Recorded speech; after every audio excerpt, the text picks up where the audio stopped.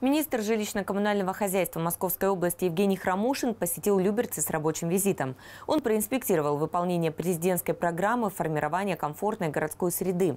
Кроме того, вместе с главой округа Владимиром Ружицким он осмотрел благоустроенный в 2017 году Центральный парк, где встретился с жителями Люберец.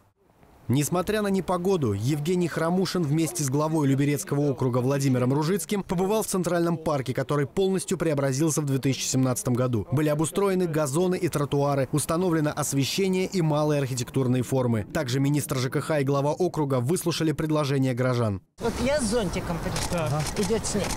Я спряталась. А вот как бы сделать так, чтобы... Навесы Навесы, Навес если дождь пошел, да? да? Проект формирования комфортной городской среды реализуется за счет средств президентского резервного фонда. Работы по благоустройству общественных территорий, а также зон отдыха будут продолжаться. И пенсионеры, и мамочки с детьми, и студенты, у которых каникулы, пользуются этим парком сегодня и получают от этого удовольствие. Поэтому эта программа будет продолжена в 2018 году, также президентская программа по формированию комфортной среды.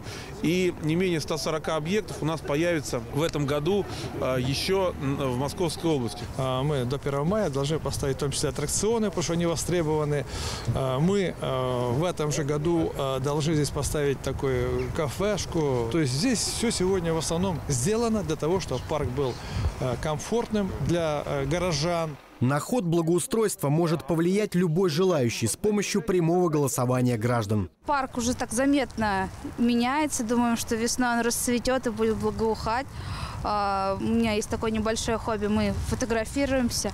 Uh, и когда я показала снимки своим родственникам, они спросили, куда вы ездили. И никто нам до сих пор не верит, что это все есть у нас в Люберцах теперь.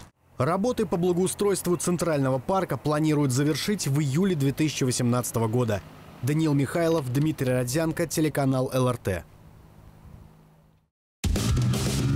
Всем привет! Я Наталья Григорьева. Вы смотрите ЛРТ. Подписывайтесь на наш канал на YouTube, ставьте лайки и всегда будьте в курсе интересных событий.